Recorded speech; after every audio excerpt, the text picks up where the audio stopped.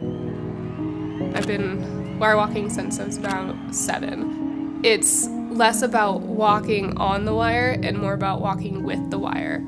I focus less about needing to balance and more about how I can just let my body move and just let my mind go blank. One powerful thing about knowing that connection with the wire is knowing who I can feel like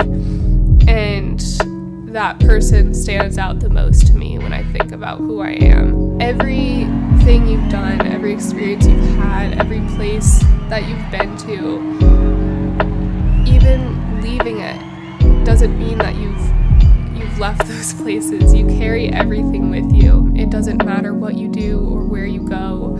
Um, it matters how you feel about yourself.